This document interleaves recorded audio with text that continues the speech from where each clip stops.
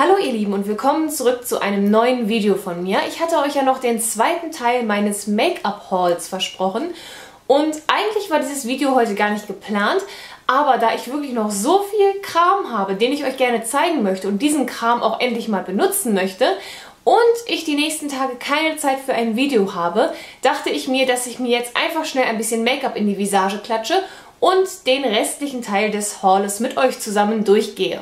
Da dieses Video recht spontan entstanden ist, hatte ich weder Zeit und Lust, mich komplett zu schminken, beziehungsweise noch aufwendiger zu schminken, noch hatte ich Lust, mir die Haare zu glätten, weswegen ich ein kleines bisschen wie ein explodiertes Sofakissen aussehe. Ich hoffe, all diese Sachen sind nicht schlimm, genauso wenig wie die Tatsache, dass ich dieses Mal keine ähm, direkten ähm, Swatches zeigen werde, also wie ich es an mir selber auftrage da mein Gesicht in der Nahaufnahme nicht ganz so gut aussieht, gerade zur Zeit. Ich habe mir nämlich erst vorhin einen riesengroßen Pickel aus Versehen weggekratzt und habe jetzt eigentlich hier in dem Bereich ein leuchtend rotes Ei. Also das möchte ich euch nicht gerne in HD und in Nahaufnahme zeigen. Von daher, ich rede schon wieder zu viel. Von daher würde ich sagen, ich höre jetzt auf zu quatschen und wir fangen mit den ersten Produkten an. Ich wünsche euch ganz, ganz, ganz, ganz viel Spaß mit dem Video und schön, dass ihr mit dabei seid. Eine Maske, die in den letzten Wochen definitiv häufig im Gespräch war, war von Glamglow äh, das Gravity Mud Firming Treatment in der Sonic-Version. Diese Maske ist also quietsche, quatsche, nee, knalle, egal, blau. Sie ist knallblau und hat deswegen quasi auch ähm, Sonic den Igel als Logo, eben weil der genauso blau ist wie diese Maske. Und diese Firming-Maske oder dieses Firming-Treatment von Glamglow finde ich so gut, dass ich mir auch wirklich noch die große Version, die normale silberne Version gekauft habe. Ihr denkt euch jetzt bestimmt, Silber, das Teil ist lila. Ja, aber die eigentliche Maske ist Zinnsoldat Silber. Das heißt, wenn ihr euch diese Maske hier auftragt, ähm, seht ihr wirklich aus wie so ein kleiner Roboter, da die ultra metallisch auf der Haut schimmert. Das ist eine ganz, ganz tolle Maske und diese Maske habe ich mir, um ehrlich zu sein, auch nur gekauft, weil sie von 64,99 auf ja, die Hälfte, 32,90 runtergesetzt worden ist. Sonst hätte ich sie mir wahrscheinlich nie gekauft, da das viel zu viel Geld ist. Aber wie gesagt, für die Hälfte vom Preis mit einem roten Sale-Schild und diese Maske hat mir übrigens die liebe Kim vom Kanal Kimanski hier auf YouTube besorgt, da ich zu dem Zeitpunkt, als sie ja zum ersten Mal rauskam, im Urlaub war und leider nicht das beste Internet der Welt hatte. Und da war sie so lieb und hat sie extra für mich äh, mitbestellt. Also nochmal vielen lieben Dank, liebe Kim, dass du hierbei an mich gedacht hast und dass du sie mir bestellt hast. Dankeschön.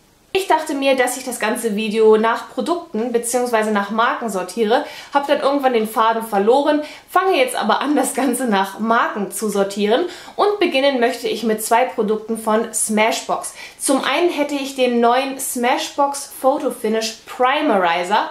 Das ist der neue Primer, der vor kurzem rausgekommen ist und was der macht, was macht der denn? Das ist ein Primer und ein ähm, Moisturizer. Moisturizer heißt auf Deutsch Feuchtigkeitspflege, würde ich mal sagen. Ähm, dieser Primer sorgt also dafür, dass euer Make-up sowohl an Ort und Stelle bleibt, als auch, dass eure Haut eben ausreichend mit Feuchtigkeit versorgt wird. Also so ein Duo-Produkt. Und das verspricht echt 24 Stunden Feuchtigkeit, 127% Instant-Feuchtigkeit.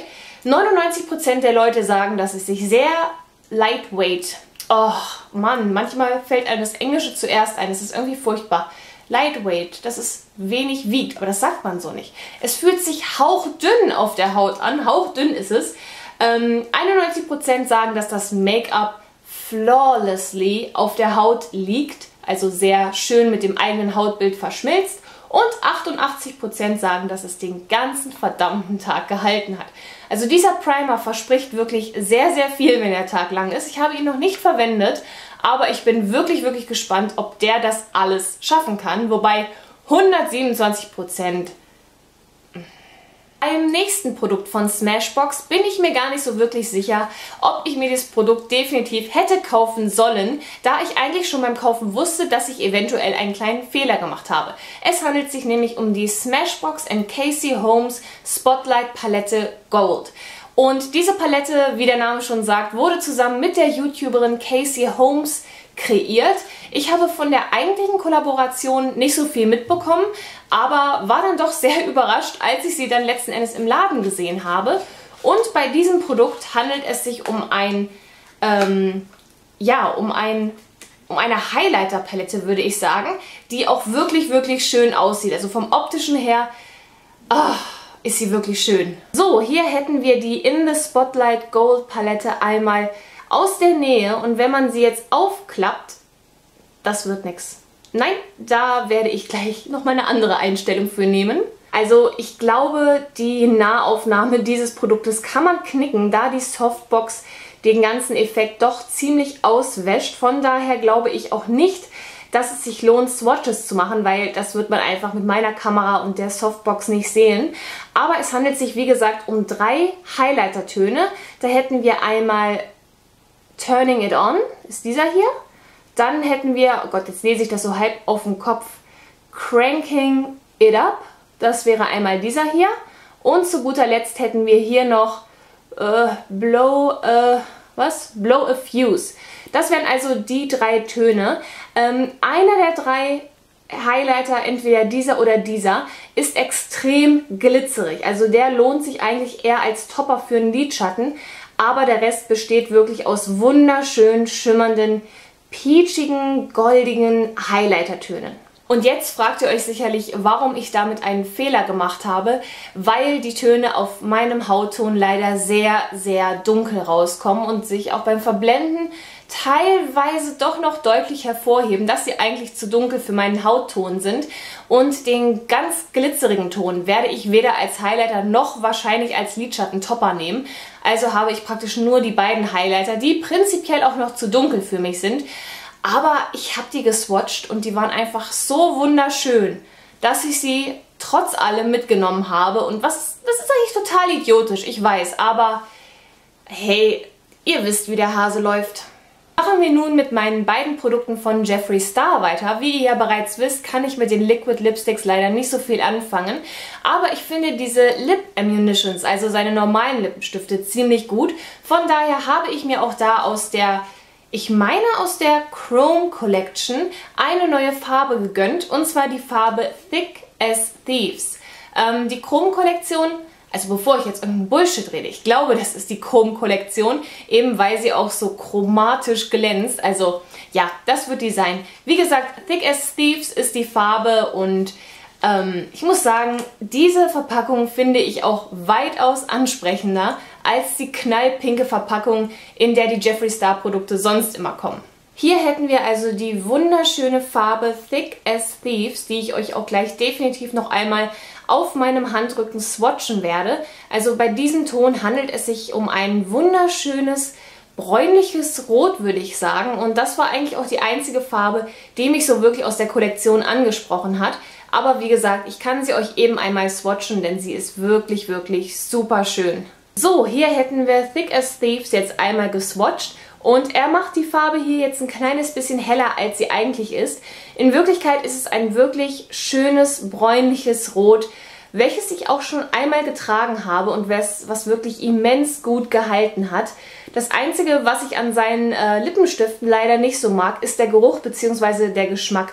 Ich glaube, das soll irgendeine Art von Limonade sein oder Popsicles oder weiß der Geier. Auf jeden Fall finde ich persönlich den Geschmack furchtbar. Wie gesagt, ich finde die Lip Ammunition, also die normalen Lippenstifte von Jeffree Star, ziemlich, ziemlich cool, da die eben wirklich lange auf den Lippen halten und immer super schöne Farben haben. Wie gesagt, Geruch und Geschmack ist nicht so meins, aber qualitativ finde ich die Lippenstifte wirklich, wirklich gut. Mein letztes Produkt aus dem Hause Jeffree Star ist zugleich auch mein erster Skin Frost aus dem Hause Jeffree Star. Ich habe mir zum allerersten Mal einen seiner Highlighter gegönnt und zwar habe ich mir ebenfalls einen Highlighter aus der Chrome Kollektion gegönnt und zwar handelt es sich um die Farbe Crystal Ball. Hier seht ihr also Crystal Ball einmal aus der Nähe und bei diesem Highlighter handelt es sich um einen silbrig-weißen Highlighter, ähm, der wirklich in einem riesen, riesengroßen Pfännchen ist. Also hier sind 50 Gramm an Highlighter drin und das ist einfach immens. Und ah, jetzt fällt mir gerade ein, wisst ihr, ihr seht jetzt ja hier gerade, ich habe hier einen weißlichen Vordergrund. Könnt ihr mir sagen oder könnt ihr mir helfen, wie ich das Problem wegkriege, dass mein Hintergrund hier auf einmal total dunkel wird? Ähm, ich weiß nämlich nicht, woran das liegt. Klar, er fokussiert jetzt alles hier auf dieses Helle, aber ich, mich nervt es total, dass der Hintergrund dann so dunkel wird. Äh, ich weiß, das hat mit dem Highlighter gerade nichts zu tun, aber ich wäre sehr, sehr froh, wenn mir einer erklären könnte, wie ich dieses Problem lösen kann.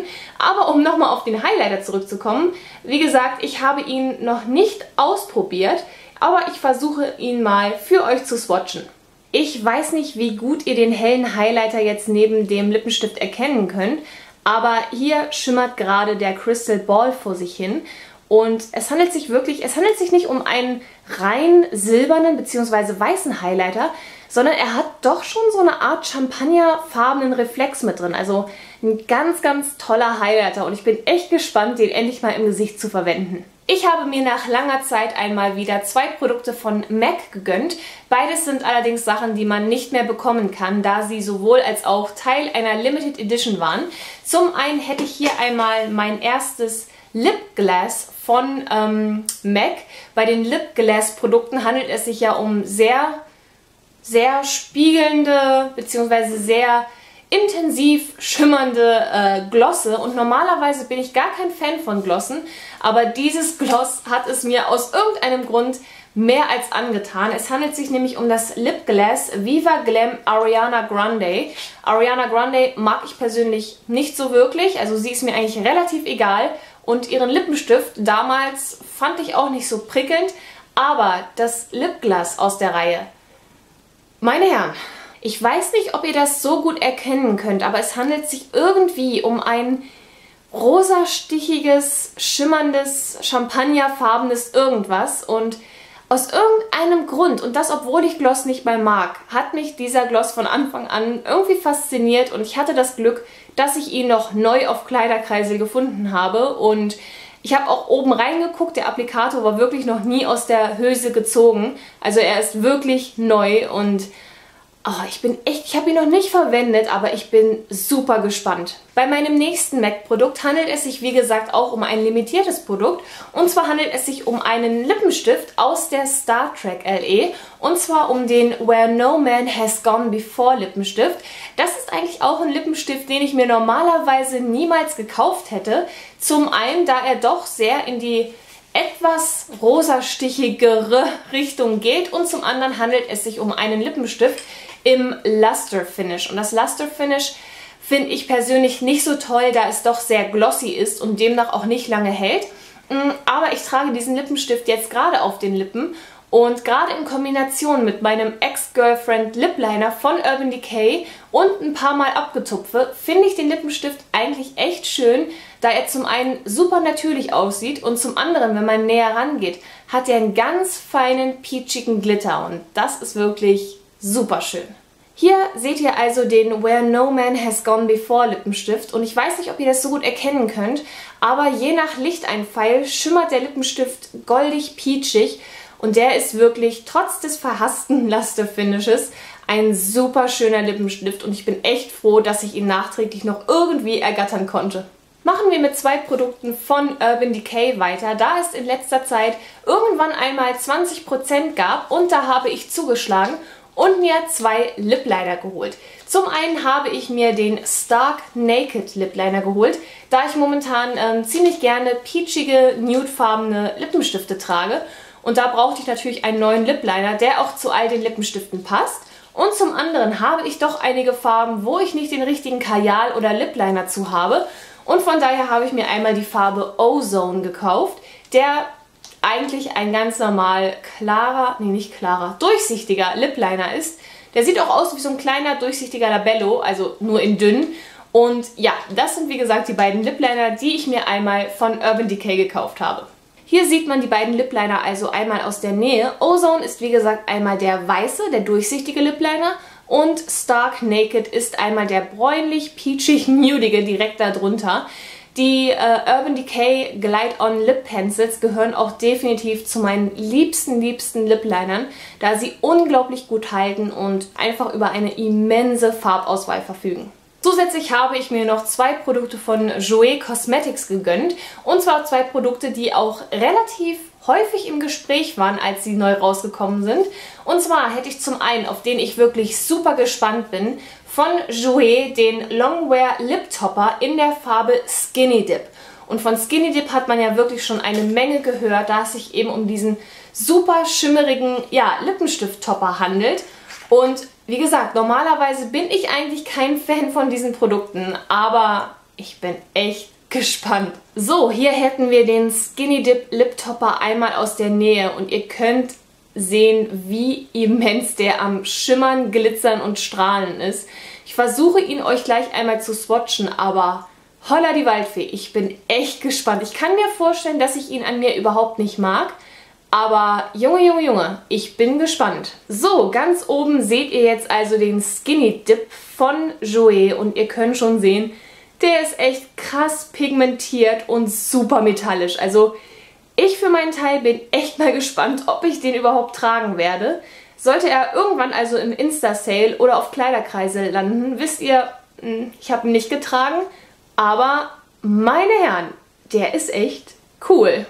Bei meinem nächsten Produkt von Jouer handelt es sich, glaube ich, um einen der Highlighter von Jouer. Und zwar handelt es sich um den Citrin Highlighter. Ich habe ja bereits den Eis Highlighter von Jouer und bin mit dem sehr, sehr zufrieden. Aber um den Citrin wurde damals viel, viel Wirbel gemacht und der war auch lange Zeit recht schwer zu bekommen, da er eben immer ausverkauft war. Und ich habe ihn heute auch als Highlighter drauf, aber wie gesagt, ich glaube, ihr seht da leider nicht so viel. Äh, ich versuche euch den jetzt mal so einigermaßen zu zeigen, aber der ist wirklich super schwer einzufangen. Es handelt sich um ein relativ dunkles Champagnergold und ich muss auch sagen, auf meiner Haut dachte ich vorhin beim Auftrag so, ja, der könnte dir ein bisschen zu dunkel sein. Aber ganz ehrlich, Nikki Tutorials habe ich in letzter Zeit irgendwie äh, nicht so oft geguckt, weil mir die ziemlich auf den Keks geht in letzter Zeit. Aber sie schwärmt von dem und hat den auch regelmäßig drauf und sie ist nochmal heller als ich. Also ich glaube, er könnte bei mir trotzdem noch irgendwie funktionieren. Ich habe das vorhin auch ganz schnell auf die Wangenknochen geklatscht und fertig. Aber der ist wirklich super, super schön anzusehen und ich hoffe, wir können uns noch irgendwie annähern. Anastasia Beverly Hills kam vor einigen Wochen mit neuen matten Lippenstiften raus und dann hat sie es auch noch gewagt, eine Kaufe 3 Zahl 2 Aktion zu machen. Und dann habe ich mir drei Lippenstifte gekauft. Einen habe ich bereits verkauft, da mir die Farbe an mir selbst dann doch nicht so gefallen hat. Aber zwei habe ich noch behalten. Und zwar einmal die Farbe Honey und einmal die Farbe Dead Roses. Und wie schon gesagt, ich trage in letzter Zeit unglaublich viele peachige Lip Lippenstifte. Sorry, das war gerade ein absoluter Hirnschiss. Meine Güte. Irgendeine Synapse ist gerade kurz weg gewesen. Aber nichtsdestotrotz, ich trage in letzter Zeit sehr gerne peachige Töne auf den Lippen. Und da sieht Honey wirklich perfekt aus. Also als ich den gesehen habe, dachte ich mir, oh mein Gott, das könnte der peachige Lippenstift für mich sein. Und er ist schon nah dran. Hier seht ihr also Honey aus der Nähe und wie gesagt, er ist zwar noch ein bisschen bräunlicher, ein bisschen beige, beigigerer, aber er geht schon sehr in die Richtung ziemlich perfektes, peachiges Nude für mich und er ist wirklich schön, die Haltbarkeit ist toll, die Konsistenz ist toll, das Finish ist toll, also die matten Lippenstifte von Anastasia, die sind wirklich einen Blick wert. Hier habe ich euch den Honey übrigens nochmal aufgetragen und da sieht man den deutlichen Brauneinschlag ziemlich gut. Aber wie gesagt, sobald für mich ein kleines bisschen Peach dabei ist, ist es für mich eigentlich schon ein Peach-Ton. Und der ist, wie gesagt, wirklich super schön. Hier hätten wir einmal die Farbe Dead Roses. Und Dead Roses ist auch ein absolut tragbarer Alltagston für mich. Also ein schönes Rosenholz, der jetzt ein kleines bisschen rötlich in der Kamera aussieht. Aber in Wirklichkeit ist es wirklich ein fast reines Rosenholz, ein dunkles Rosenholz, welches ich auch schon häufiger getragen habe und welches mir auch echt sehr, sehr gut gefällt. Neben Honey seht ihr jetzt also auch den Dead Roses Swatch und hier sieht man auch, dass er nach über einen recht großen Anteil auch einem leichten lila Ähm, jetzt habe ich den Faden verloren. Er hat auf jeden Fall einen recht schönen lila Einschlag, was mir persönlich ja immer sehr gut gefällt. Und wie gesagt, also die matten Lippenstifte von Anastasia Beverly Hills kann ich euch wirklich nur empfehlen. Machen wir mit der Palette weiter, um die es sich die letzten Monate eigentlich nur gedreht hat. Sie war in aller Munde, sowohl positiv als auch negativ. Häufig negativ, hatte einige sehr fragwürdige Reviews, einige Reviews mit sehr fragwürdigen Methoden und ich bin so gespannt, was ich für ein Exemplar abbekommen habe. Ihr könnt es euch wahrscheinlich schon fast denken. Ich rede von der Subculture Palette von Anastasia Beverly Hills. Wie gesagt, ich habe sie noch kein einziges Mal verwendet und ich bin gespannt wie ein Flitzebogen, was für ein Batch ich erwischt habe. Ob ich einen guten habe, einen schlechten habe und oh, holla die Waldfee, ich bin echt gespannt. Ich musste mich so zusammenreißen, die Palette nicht schon zu verwenden, weil ich sie eben erst hier im Video zeigen wollte. Und ich werde sie auch jetzt nicht anrühren, also ich werde sie euch zeigen, aber nicht swatchen, weil das will ich wirklich in meinem stillen Kämmerchen, still und heimlich für mich alleine machen, weil, oh, ich, ich, also es ist eine Mischung aus Angst, Vorfreude, Panik, äh, Spannung, also hier sind alle Gefühle mit dabei, wie gesagt, die Subculture Palette von Anastasia Beverly Hills. Das klingt, klang jetzt gerade irgendwie ein kleines bisschen schnell und ein kleines bisschen... Äh, ich halte sie euch nicht in die Kamera mäßig, denn genau das werde ich jetzt nicht machen. Zum einen, da meine Batterie langsam aber sicher stirbt und ich vergessen habe, die zweite zu laden. Und zum anderen, weil die Palette, sorry, aber in letzter Zeit wirklich nur in die Kamera gehalten worden ist von sämtlichen Leuten. Und ihr wisst, wie sie aussieht. Und ich habe sie, wie gesagt, noch nicht benutzt. Sie sieht nicht anders aus als andere auch. Und ja, ich muss dieses Video jetzt wirklich ein kleines bisschen durchrushen, damit ich fertig werde.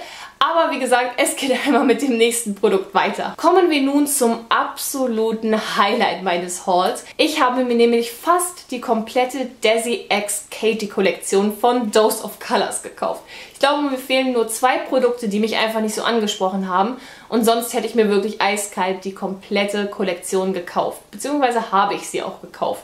Ich warte jetzt noch auf meine zweite Lieferung. Kann euch jetzt aber schon drei Teile aus der Kollektion zeigen, die meine liebe Freundin Nadine für mich bestellt hat. Nadine, falls du das Video gucken solltest, vielen lieben Dank, dass du die für mich bestellt hast. Und ohne dich wäre ich da nicht so schnell dran gekommen. Und vielen lieben Dank dafür. Und ich kann nur sagen, ich bin wirklich verliebt. Zum einen hätten wir hier einmal den Highlighter oder einen der beiden Highlighter aus der Kollektion. Und zwar habe ich mich für die Farbe Fuego entschieden. Da der zweite, der heißt glaube ich Mirame, Mirame, sie, den, na, den fand ich ein bisschen zu dunkel für mich. Aber hier der Fuego, oh, muchos, nein, muchos ist viel, oder? Was heißt denn nochmal Freunde? Amigos, Amigos, ich brauchte diesen Highlighter. Also ihr könnt nicht vorstellen, wie ich mich auf diese Kollektion gefreut habe. Desi finde ich ganz okay, aber Katie finde ich richtig, richtig super. Und als ich die Sachen auf den Promo-Bildern gesehen habe, in ihrem Swatch-Video, ich musste die Sachen haben. Also ich habe wirklich lange nicht mehr so ein tiefes Bedürfnis, so ein tiefes Verlangen gehabt, als eben nach dieser Kollektion. Und ja, ohne lange um den Brei herumzureden, zeige ich jetzt zeige ich euch jetzt zuerst einmal Fuego. Hier hätten wir also einmal den Fuego Highlighter. Und hier kann man schon sehr gut sehen, es handelt sich um einen sehr, sehr, sehr, sehr warmen, fast schon gelbstichigen, goldigen Highlighter. Und ich dachte anfangs, dass die Farbe eventuell zu dunkel für mich sein wird, aber verblendet man sie, schmiegt er sich der Haut wirklich wunderschön an, passt sich gut an und Oh, dieser Ton ist wirklich super schön. Dann mache ich einmal mit dem Gloss aus der Kollektion weiter. Und zwar ist das das Over the Top Gloss bzw. der Over the Top Lip Topper. Und ihr könnt schon erkennen, oh, das ist eigentlich nur ein Strudel aus cremigem, glitzerigem Gold. Es ist ein wahnsinnig interessanter Ton, den man wie gesagt über viele verschiedene Lippenstifte tragen kann ähm, nee, den man über vielen verschiedenen Lippenstiften tragen kann. Oh mein Gott, Grammatik ist schon so eine Sache für sich. Ähm, auf jeden Fall hätte ich mir so eigentlich auch nicht bestellt, aber irgendwie strecken sich meine Fühler so langsam aber sicher in Richtung Gloss aus und dieser Gloss, der ist wirklich, ich würde schon fast sagen, einzigartig. Ich habe mir beide Lippenstifte aus der Kollektion gegönnt, auch wenn ich glaube, dass äh, No Shade, sprich dieser hier, viel zu hell und zu nudig für mich sein wird. Aber ich finde die Optik, dieser Lippenstifte einfach nur mega schön. Ich weiß nicht, ob ihr es, ich versuche hier mal irgendwie was einzustellen, ob ihr es erkennen könnt, aber hier seht ihr die Unterschriften von Desi und Katie und hier unten das goldene Dose of Colors. Also es ist einfach ein unglaublich schöner Lippenstift. Ähm, no, nee, More Creamer Please habe ich mir auch noch bestellt. Der kommt auch demnächst, aber die Lippenstifte, oh, die sind bildschön. Kommen wir nun zu meinem letzten Produkt und ein Produkt, welches auch übermäßig gehypt, gefeiert, kritisiert und zerrissen worden ist. Also es handelt sich um ein nicht ganz so kontroverses Produkt wie die Subculture Palette, aber nach wie vor um eine Palette, über die sehr viel Posi und Negatives geredet worden ist. Und zwar, ich rede von der Jacqueline Hill Palette von und für Morphe. Und ähm, diese Palette hat mich anfangs überhaupt nicht angesprochen. Die war ganz schön, ja. Aber irgendwie hat's der Funke, der flog nicht ganz über. Aber als ich dann die ersten Videos gesehen habe, die ersten Swatches, die ersten First Impressions, dann war mir klar, der Erste, der mich fragt, ob ich mitbestellen möchte, bei dem bestelle ich mit. Und es hat dann letzten Endes die liebe Kim mal wieder für mich gemacht. Also Kim ist für mich nicht nur eine sehr gute Freundin, sondern auch einer der besten Make-up-Dealer, die ich kenne. Und auch vielen lieben Dank an dieser Stelle, dass du mir diese Palette ermöglicht hast. Ähm, ja, also ich weiß nicht, in letzter Zeit muss ich sagen, geht mir die gute Dame, sprich Jacqueline Hill, schon ein bisschen auf den Keks, da sie eigentlich nur noch rumquietscht in ihren Videos. Also alles ist irgendwie ähm, mit Bitch oder mit Oh mein Gott! Also, oh, ich kann das nicht mal nachmachen. Also ich kann es schon, aber ähm, das möchte ich jetzt nicht. Ähm, plus macht mein Freund sich dann wahrscheinlich Gedanken im anderen Zimmer. Aber ihr wisst, was ich meine. Sie quietscht in letzter Zeit nur noch rum, schreit auf einmal rum und wenn ich dann morgens total verschlafen im Badezimmer stehe, mich schminke, irgendwelche Videos gucke und auf einmal brüllt dich da so ein Viech an in der Lautstärke, wo... Oh, Nee, das, das geht mir in letzter Zeit irgendwie auf den Keks und irgendwie hat sie sich meiner Meinung nach ein bisschen in die negative Richtung entwickelt und jetzt habe ich eigentlich auch schon genug über Jacqueline Hill gesprochen, da mir doch die Zeit davonläuft. Wie gesagt, das ist die Morphe-Palette, die sie eben kreiert hat und ich gucke mal, ob ich sie ganz für euch aufs Bild bekomme. Und hier hätten wir einmal alle Farben der Morphe Jacqueline Hill Palette und ich muss sagen, sie ist schon echt schön. Also ich habe sie nach wie vor auch noch nicht verwendet, aber sie ist wirklich schön und ich hätte mich in den Arsch gebissen, hätte ich sie mir nicht bestellt. Die kommt jetzt auch bald übrigens zu Beauty Bay, das heißt, ihr solltet dann keine Probleme haben, sie zu bekommen, da Morphe eben leider nicht mehr nach Deutschland liefert. Aber bald kommt sie zu Beauty Bay und dann dürftet ihr sie wieder lockerflockig bekommen können und ihr kriegt halt auch echt viel. Also ich glaube, ich habe 36 Dollar bezahlt, bin mir aber nicht mehr ganz sicher und ihr kriegt halt echt viele Lidschatten. Ich habe sie, wie gesagt, noch nicht verwendet, kann euch also nichts zur Qualität sagen, aber ihr kriegt allein schon für euer Geld verdammt viele Lidschatten. Und auch wenn ich mittlerweile nicht mehr der größte Fan von ihr bin, hat sie die Palette meiner Meinung, meiner Meinung nach wirklich toll gestaltet. Sie hat sich was bei den Farben gedacht, hat äh, Farben aufeinander aufgebaut, kombiniert und ich bin sehr, sehr, sehr froh, diese Palette zu haben und freue mich wirklich drauf, sie bald benutzen zu können. So, wir sind endlich, endlich, endlich am Ende des Videos angelangt. Ich habe versucht, gerade in den letzten 10 Minuten doch etwas schneller durch all die Produkte zu gehen, aber ich möchte euch natürlich schon noch einige Sachen zu den Sachen erklären und euch nicht die ganze Zeit und das ist das und das ist das und das ist toll und das auch, das auch. Das möchte ich nicht. Also ich habe mich, glaube ich, schon wieder etwas verquatscht, aber Ihr kennt es ja mittlerweile zu Genüge. Aber ich muss jetzt, wie gesagt, auch aufhören, da das Video zum einen super lang ist und zum anderen stirbt mein Akku gleich. Ich hoffe, ihr hattet nichtsdestotrotz Spaß mit meinem Video und wie gesagt, ich hatte euch ja nach der kleinen ähm, Problemlösung bezüglich meines schwarzer Hintergrund, helles Front Produkt gefragt. Das findet ihr irgendwo, genau, beim Jeffree Star Highlight. Da hatte ich euch das gefragt und ich würde mich sehr freuen, wenn ihr mir in die Kommentare schreiben würdet, wie ich eben dieses Problem mit dem dunkler werdenden Hintergrund ähm, lösen kann. Aber bitte kein Fachchinesisch. Ich kenne mich mit Kameras nicht aus. Ich weiß, wo der Anknopf ist, wo ich zoomen kann, wo ich den Fokus einstellen kann und das reicht mir.